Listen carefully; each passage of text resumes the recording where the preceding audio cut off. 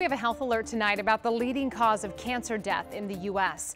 Experts say many colorectal cancer deaths can be prevented through screening tests. However, traditional methods aren't always popular with patients because of their invasiveness. Well, now a new study looks into whether a newer at-home test is effective in detecting colorectal cancer. When it comes to colorectal cancer, there are several tests used for screening.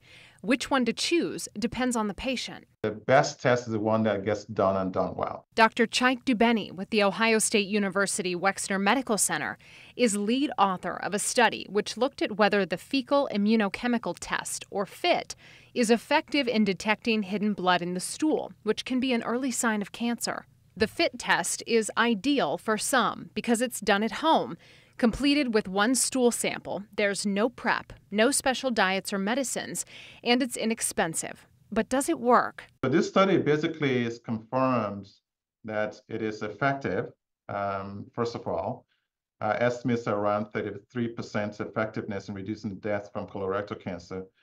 But also more importantly, it's effective across racial and ethnic groups that we studied, i.e. black people, white people, uh, and Asian people. The researchers say it was especially effective at detecting cancer in the left colon and in the rectum.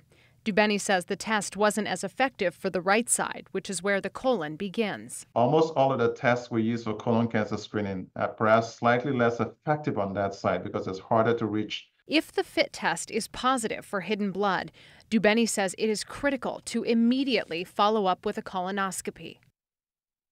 The doctor tells us that the FIT test is simple, but the instructions do need to be followed. So if it's prescribed for you and you have questions, your doctor is ready to answer them.